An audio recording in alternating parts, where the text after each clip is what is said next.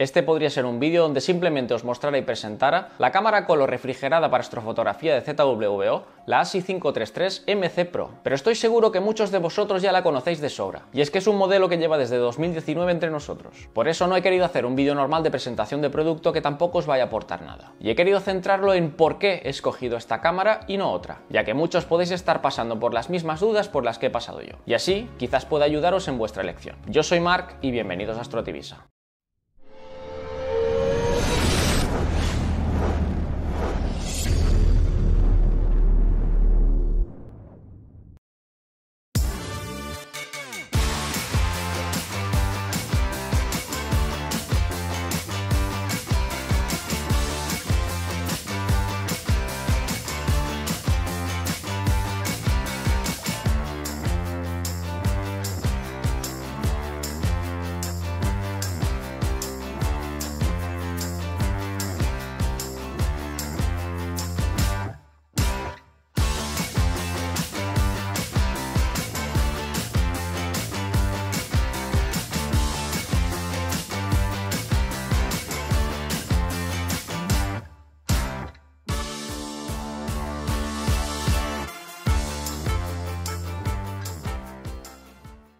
Algunos sabréis, estoy formando un equipo ultraligero, formado hasta ahora por la montura Skywatcher Star Adventure GTI y el tubo óptico ASCAR ACL 200 de 200 mm de distancia focal y f4. Pues hoy vengo a presentaros la cámara escogida para este setup, que en realidad no es esta ASI 533 MC Pro, sino la ASI 2600 MC Pro, una versión muy parecida en características y con un sensor bastante más grande, pero su precio, desgraciadamente, también es bastante más alto. Así que como la principal característica de ese salto de precio es el tamaño del sensor y tenemos una focal ya bastante corta, he decidido ir a por esta ASI 533 MC Pro. Debo decir que nunca me ha gustado el sensor cuadrado de una pulgada que tiene, pero creo que se adapta bastante bien a la focal de 200 a la que va destinada, dándonos un buen campo. Además, con la actualización 2.0 del ASI Air, ahora podremos realizar mosaicos sin complicaciones, por lo que si algún día me interesa tener un campo más grande, realizaré un mosaico aunque tenga que dedicar más tiempo, y así me ahorro algo más de 1000 euros en la ASI 2600 MC Pro. Si por el contrario comparamos el campo que me da la 533 con el ACL 200 y el que me da una 294 con el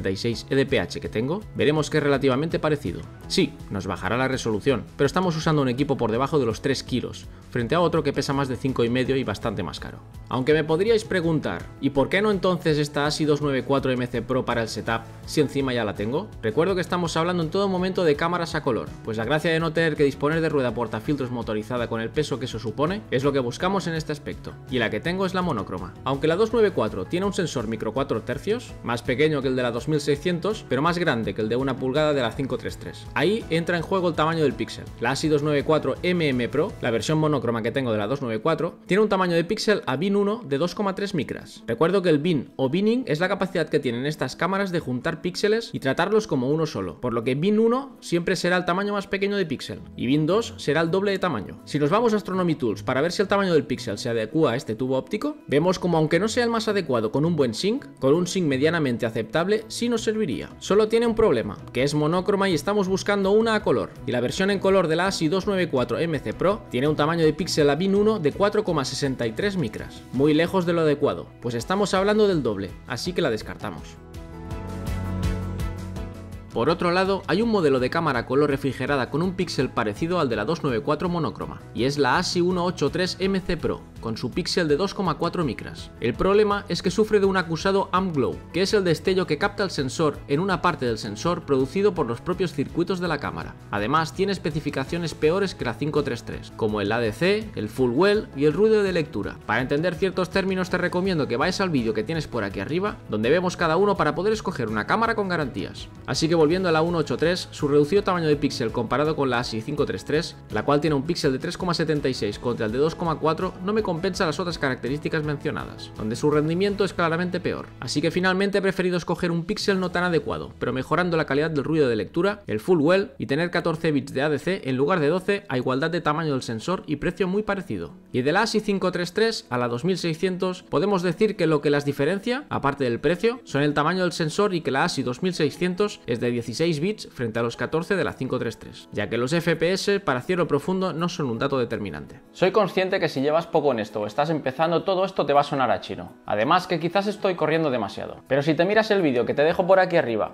y vuelves y te vuelves a mirar este vídeo con más detenimiento, estoy seguro que lo vas a entender todo perfectamente. Bien, en este punto ya sabéis qué me ha llevado a elegir la ASI 533 MC Pro por encima de las otras, aunque su tamaño del píxel no sea el más adecuado. Para diferenciar las cámaras monocromas de las de color dentro de la marca ZWO es muy fácil. Aunque todas sean rojas y parezcan iguales, tenemos que mirar las letras de después del número. Así por ejemplo, este modelo, la ASI 533 MC Pro, la MC es que es en color, mientras en las monocromáticas pondría MM. Por lo tanto sería la 533 MM Pro, si fuera la monocroma. Y que sean Pro o no, depende básicamente de la refrigeración. Sinceramente, tenía ganas de tener una cámara color. Últimamente he empezado a hacer las tomas de calibración de flats y dark flats con la monocroma. Y claro, hay que hacerlo para todos los filtros que utilicemos y se puede volver algo pesado. Aunque una cámara monocromática siempre nos dará un plus de sensibilidad, habrá que ver si realmente compensa y ese plus es realmente apreciable. Otro de los motivos por los que he adquirido una cámara color es para ir probando los filtros multibanda que van saliendo, ya que por ejemplo las comparativas que realicé entre los filtros el Extreme y el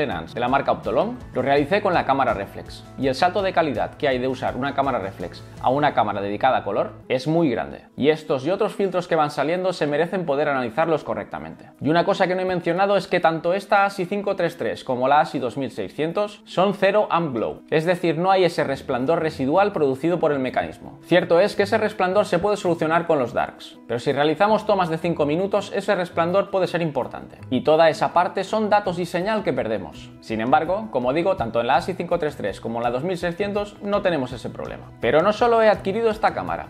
Para completar el tren óptico he adquirido un cajón portafiltros de 2 pulgadas de la marca ZWO y alguna otra novedad que por ahora no veremos. Dentro vídeo.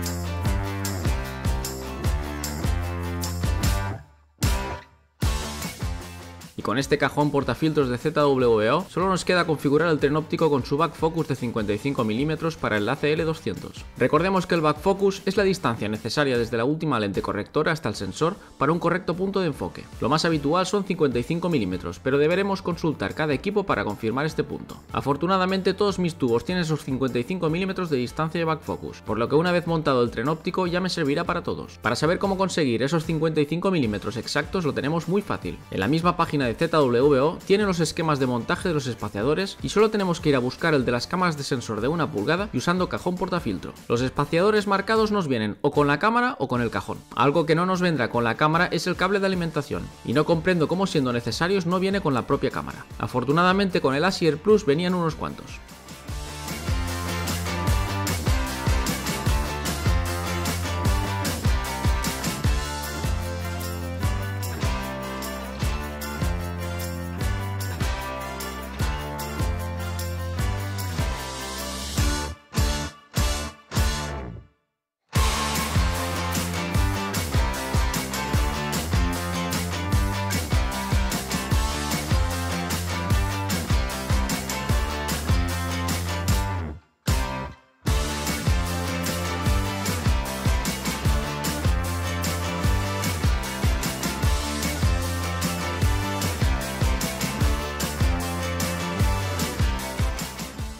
Ya hemos visto la cámara, sus características, el por qué la he escogido y hemos montado el tren óptico para adecuarnos al back focus. Así que ya solo nos queda una cosa, probarla. Pero llevo dos semanas esperando un día bueno y se me acumulan tanto los proyectos como las nubes. Así que por ahora deberemos esperar. Espero que este vídeo os haya podido ayudar si estáis en el punto de comprar una cámara dedicada. Si ha sido así o tenéis alguna duda podéis dejármela en los comentarios. Muchas gracias por vuestro tiempo, un saludo y nos vemos en el próximo vídeo.